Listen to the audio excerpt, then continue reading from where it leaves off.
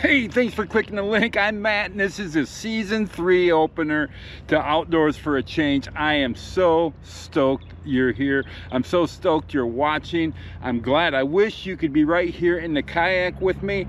Uh, we're going to have a lot of fun fishing today. I'm out on a local lake near my home. You might hear a little bit of uh, car noise.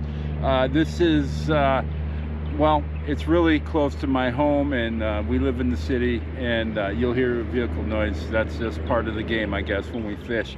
But there's huge fish in this lake. So many people in our city our small town of uh, Mason they skip it and they go further away to some of the more remote lakes. And meanwhile the fish keep getting bigger and bigger and bigger and bigger. So I am here with three rods today. I have my uh, my light action. I got that four pound mono on that. Then i have a medium light with eight pound mono and also a medium heavy with 10 pound mono. I i this, this i'm done with using braided line. That's all i used in the past uh, on the channel. But this year this season i'm just going to go straight mono filament except for my frog rod. That'll be 40 pound braid on a heavy rod. But everything else is going to be mono uh, mainly because I'm not that great at tying leaders on and when you break off uh, usually the leader breaks then you have to not only tie a new leader but then you have to tie a new lure on and uh, that gets really old for me. Uh, my eyesight uh, is fantastic. It's great for a man of 54 years old but it's not what it was before. And uh, so I'm just trying to make things easier for me uh, this fishing season and as I progress further on into the into my fishing career, not really a career. Uh, what's different about this uh, season? I have uh, three camera angles. I have the camera in the back uh, and I have the camera on the side. You might notice the angle's a little higher than it was last year before. It was me looking down and you can see my double chin and my big fat belly. Uh, it wasn't a really, uh, what's the word I'm looking for? It wasn't a, uh, it wasn't a good look. Uh, but uh, now I have that raised a little bit so we can look eye to eye and you can kind of see over my shoulders to see what, what's behind me. Also, I got a new camera mount on the front and uh, of, the, of the boat. Uh, so what we're going to do uh, today is uh, on the four pound test on my light action rod I got just a bobber and uh, a float and uh, a weight and a sinker sinker and a small hook and I got red worms we'll see what's happening with the panfish in the area also on the light action I'll throw light Mepps spinners and on the on the medium light rather on the medium heavy I got some top water I'll uh, we'll play with. So I don't know what is where the fish are here today. Uh, it's all different. The water temperature is under 40 degrees. It's it's really cold. And I'm not sure where the fish are when the water is this temperature. And my fish finder I couldn't find the wire uh, in the garage that plugged it into the battery. So we're gonna go old school style without a battery. I also didn't bring an anchor mainly because uh, it was the last thing I was getting ready to put on the kayak, but my kayak is filled to the brim with, uh, I don't know, just with the new cooler and uh, my, my tackle bag. I got to figure things out in here to get a little more organized so it's not so much effort to uh, get out here fishing. But I'm going to start with red worms. I think uh, that's going to be the order of the day. If I do catch panfish, I will keep them and eat them and we'll do a catch and cook.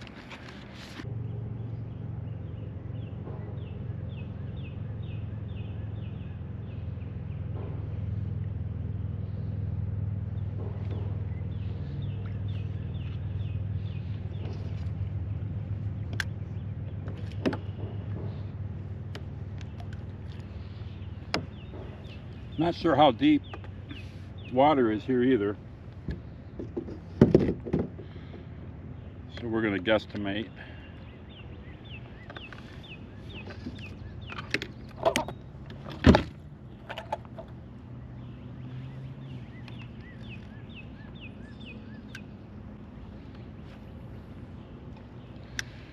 All right, we're fishing.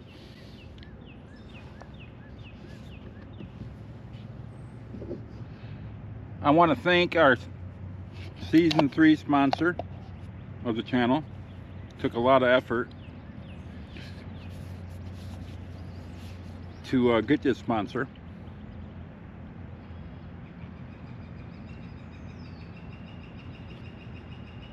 I wish. I think it takes more than 350 subscribers to get a McDonald's sponsorship, huh? All right, I'm not real patient when I'm uh, pan fishing with worms. Uh, usually if they're hungry, they're going to bite. If they're there, they're going to bite. And leaving it in the same place for too long is a waste of time. I'll reel it in a little bit, maybe they're there. Then I'll reel it in a little further, maybe they're there. But 30 seconds is, is enough with a red worm, with bluegill and sunfish because if they're there, they're going to bite it. If they're not, they're not. So why am I still going to hang out someplace where they're not? I'm definitely going to have to lose some stuff in the uh, kayak and not bring it next time. I think one is my tackle bag.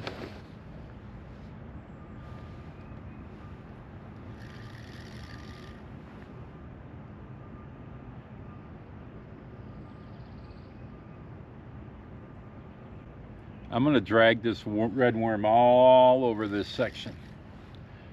If they're in here and if they're ready to eat, they're going to eat and I'm going to find them. It feels so awesome to be back out here.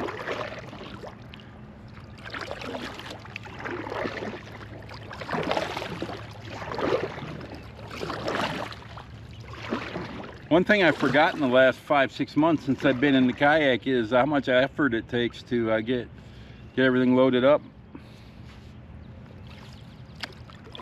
It's like, man.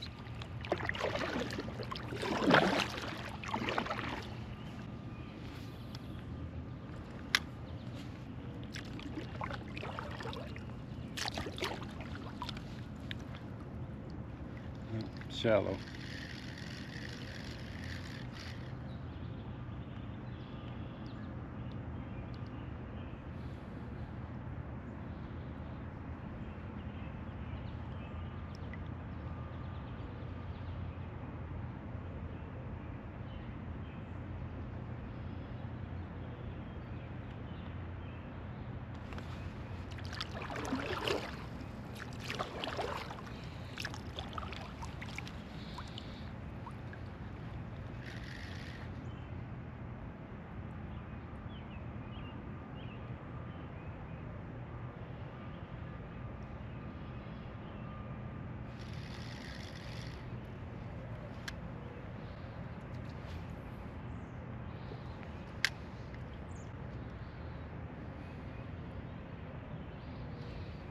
Uh, that bobber didn't stand up, so I know I got a fish.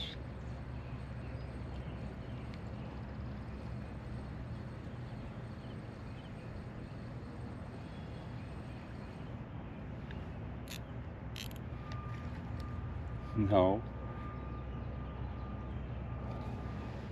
Had the drag set so loose that it wouldn't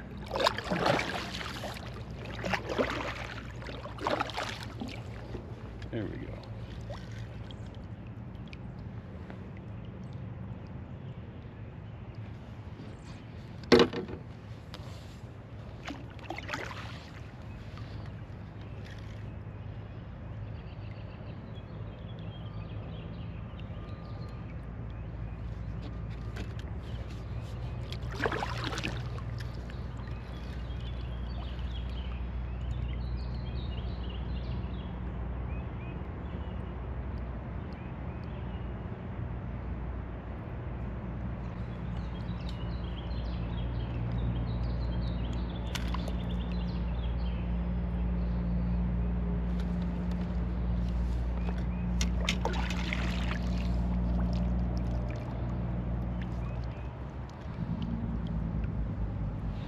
All right.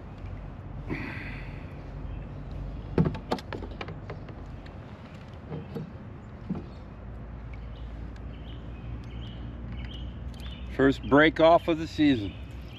I'm gonna throw some top water out here before I tie back on again.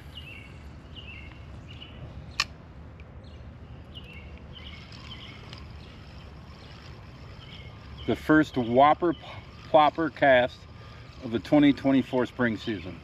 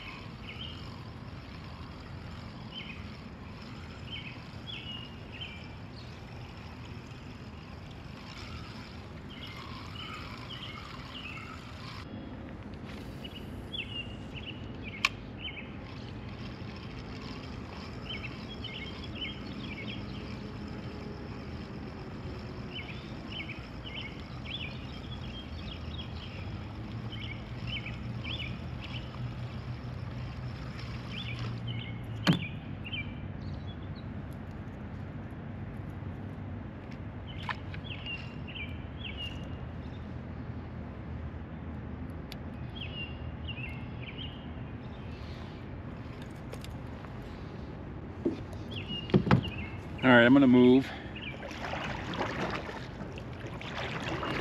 I gotta get my bobber though.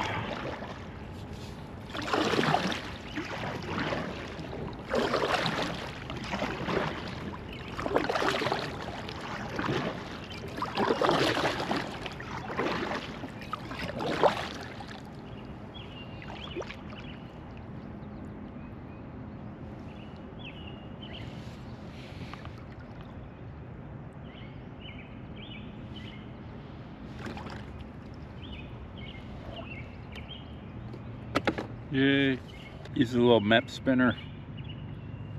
Not a Mepps, it's something else. Competitor of Mepps.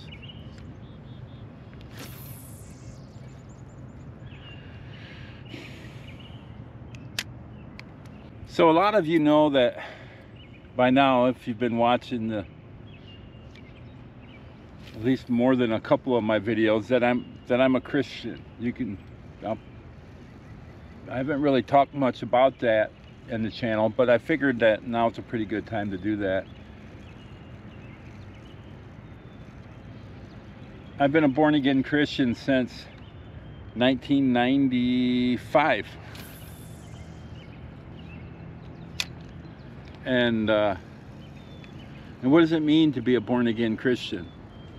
Well, basically, the mindset of the world is that man is intrinsically good like humanism, like if man just given enough tools and can learn to, to work with one another that they will accomplish awesome things. That man by nature is good in his heart. And uh, the Bible tells us something different, that there's no one righteous on their own. Not one. Out of the billions of people on the planet, there's not one righteous by their own works and you may be a lot better person than I am. You may do better things. You may do less bad things than I am. But that, unfortunately, doesn't make you righteous. A righteous person is one who never does the wrong thing. A righteous person doesn't even think wrong thoughts. And, uh, and as soon as they do, they become unrighteous. Well, the Bible's clear that we're all unrighteous. And the penalty for unrighteousness is eternal separation from God. A lot of people say, well, hell, you go to a, a lake of fire. But it's separation from God because the person that is separated from God for eternity has pretty much decided they didn't want anything to do with God in this lifetime and that means they won't have anything to do with God for eternity. So there's a lot of ramifications to what you think about God. And out of the world's religions, there's only one and I, and I and I hesitate to say that Christianity is a religion because it's not. Christianity is a person.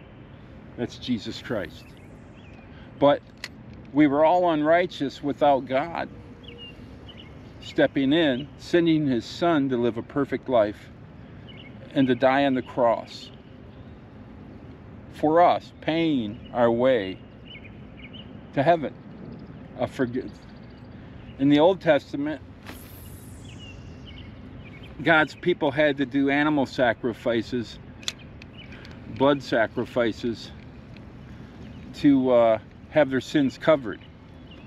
That was pointing to the time when God was going to send his son to die on the cross. And Jesus came 2,000 years ago. He was here. Uh, historians from across the board recognize that fact. There's no denying the fact there was a man named Jesus here 2,000 years ago. The historian Josephus, who is not a Christian, talks about Jesus at that time who was doing great miracles for the people. There's no denying the fact that Jesus walked on this planet. Now, who do you say that Jesus was? Some say he was just a good man. But he wasn't a, just a good man. Because he claimed to be the Son of God. If he was a good man, claiming to be the Son of God, then he was not a good man, he was a liar. Some say Jesus didn't know that he was God and never said he was God, and he himself pointed to himself just being a good man. But that's not true. All through the, the biblical text of the Gospels, Jesus referred to himself as God. That's why they killed him. That's why they hated him. So, where does that put you and I? We're unrighteous and we need help from God to become righteous. And my pastor shared a story of a couple that lost their uh, their teenage daughter, I think she was, to a, a skiing accident, and they donated her body parts to the people who needed it. And the only caveat was if they wanted to listen to the heartbeat if anybody was able to use their heart. Well, someone was able to use their heart and it saved somebody's life. And they went to a doctor's appointment and the doctor put the stethoscope on their daughter's heart in that new woman's chest. And they could hear the heart.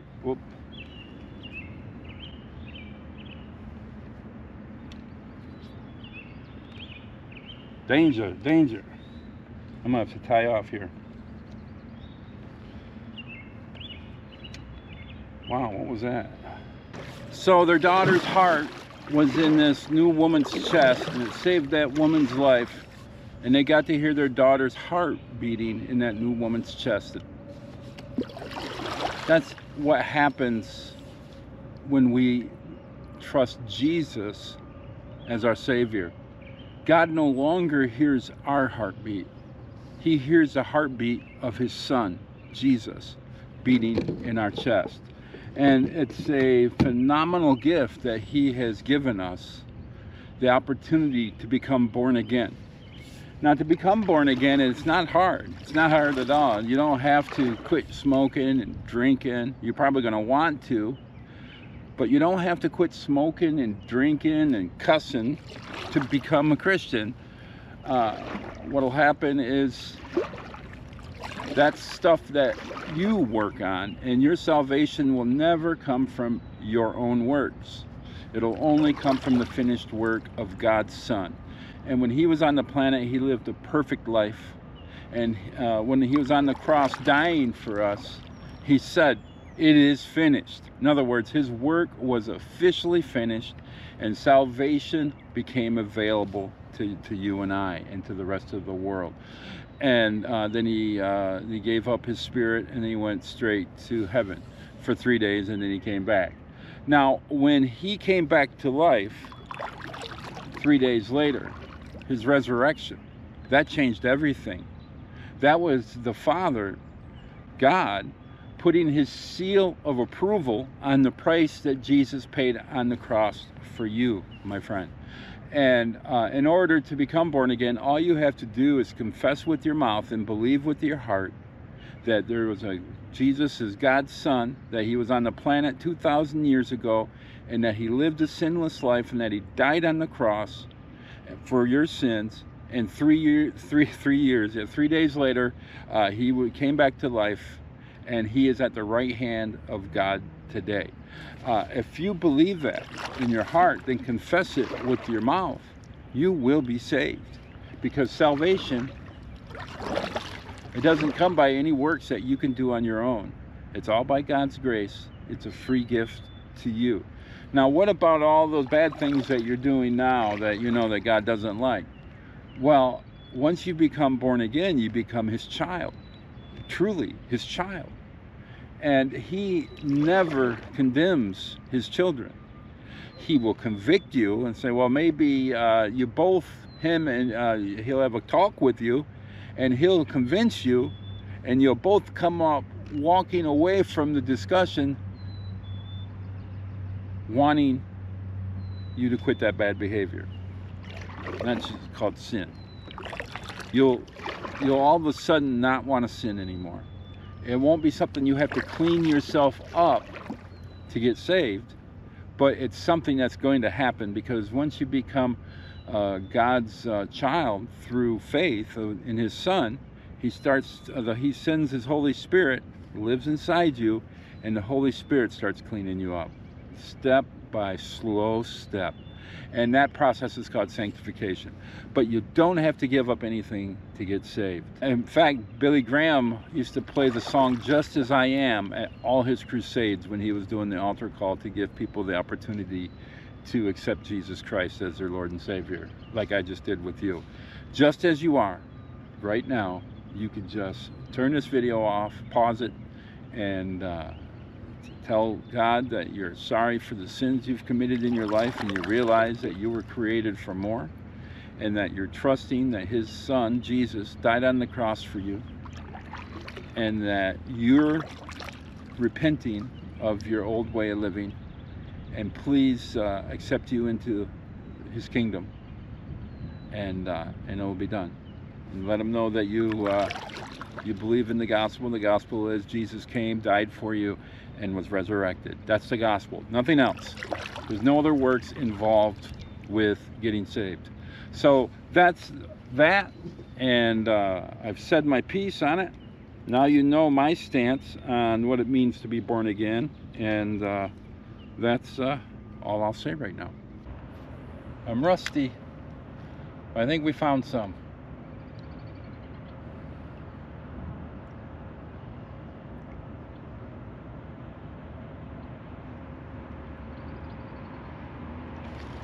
There we go. What we got? What do we got? Oh, a little bluegill.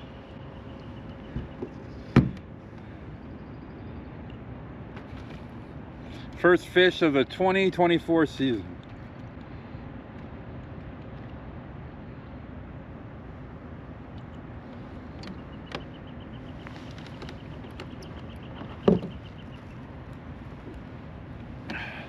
Not massive, but he'll eat.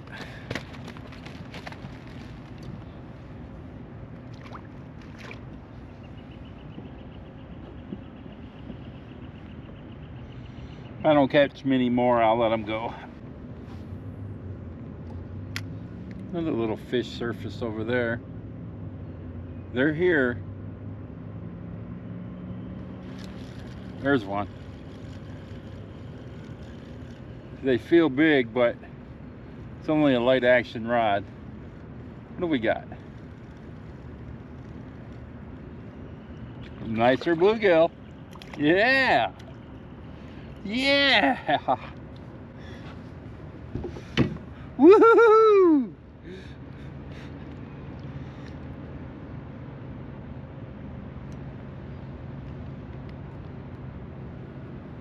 Look at that bad boy. Look at that. Let's measure them. You have to take my word for it. I don't have any camera to...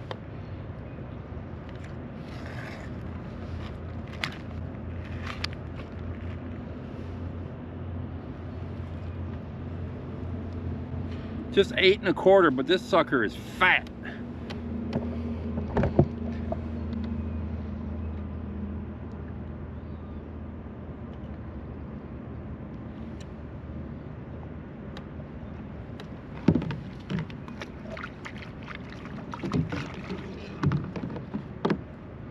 Much bigger than the other one.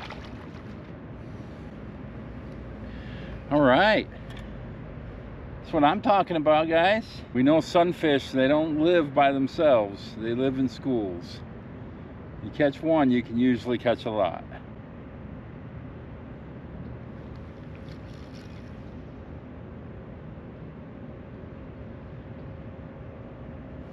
Me back up from this little tree here.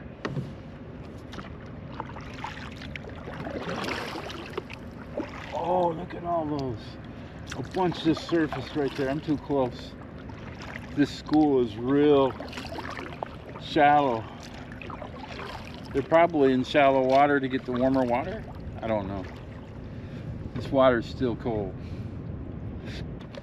Look at these turtles.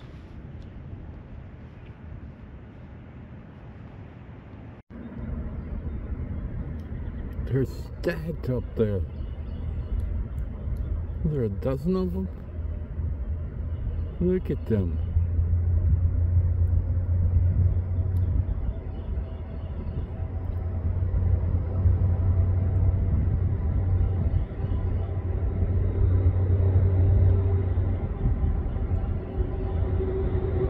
Every one of them staring at me.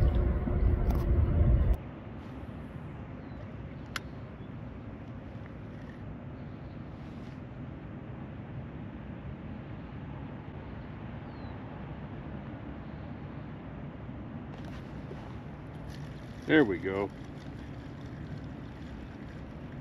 Guess I didn't forget how to set the hook right. Yeah. Another nice keeper. He's he'll eat.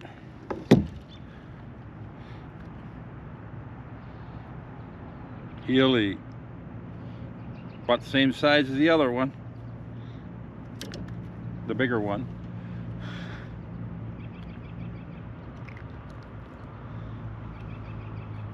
See that okay?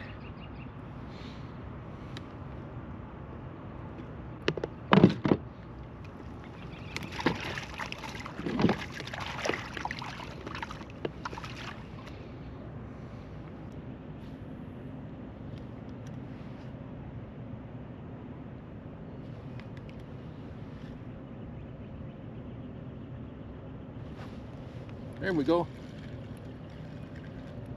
Feels good. Feels good. What is it? Oh, no. Oh, no. A crappie. A nice sized one, too. Nice. Crappie's in the bluegill school. And crappie travel in schools, too. So this seems to be a nice little spot. Our inquiry minds got to know. I thought it was a bass. Inquiry minds need to know how big this guy is. Again, you got to take me at my word. I don't have a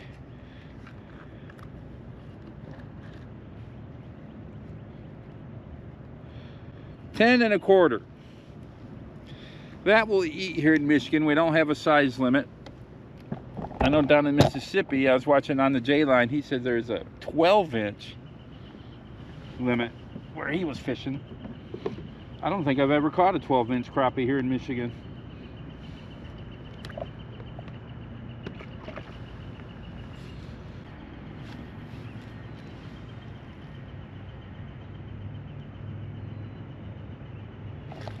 Another one.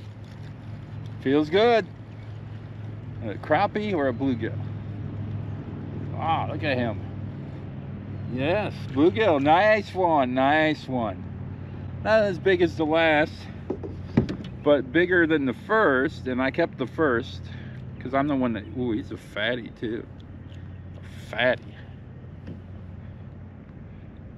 I'll clean him up nicely.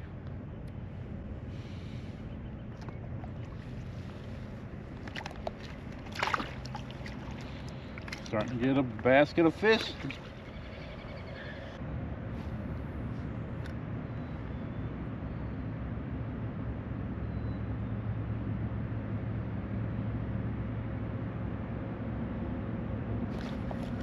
There's one. Feels nice. Of course, they all do on this rod.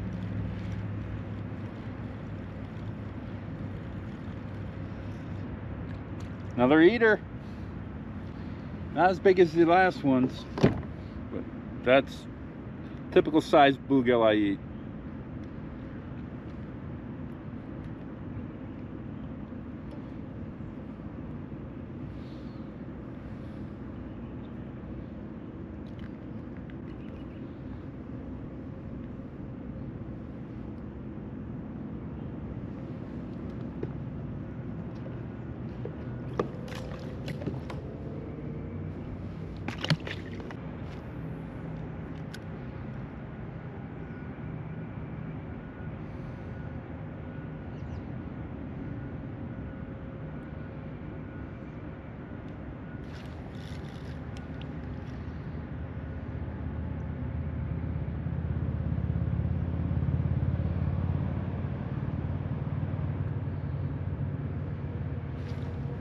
Ooh, yeah. He feels good. Maybe a crappie? Yeah. Oh, yeah. Oh, yeah.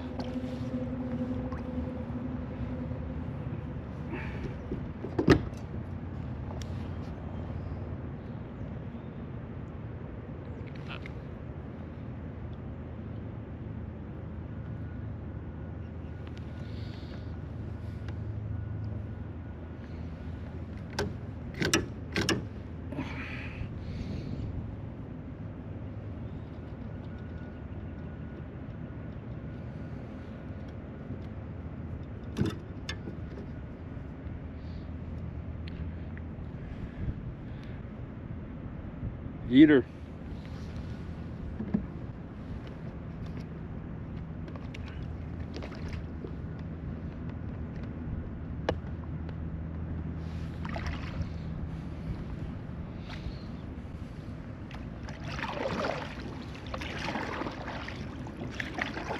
Looks like we're having bluegill and crappie fillets for dinner. Is that keto? That's pretty much keto in my book.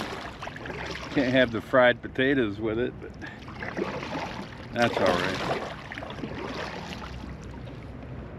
Who likes fried potatoes with their fish anyway? Everybody. Well, that's gonna do it. I don't have much time left. I got to get home and uh, get ready for class tonight. Bible study class. So I'm to go home and clean these up and uh, get them cooked up. We'll try that new uh, fish crisp. Got my microphones all messed up.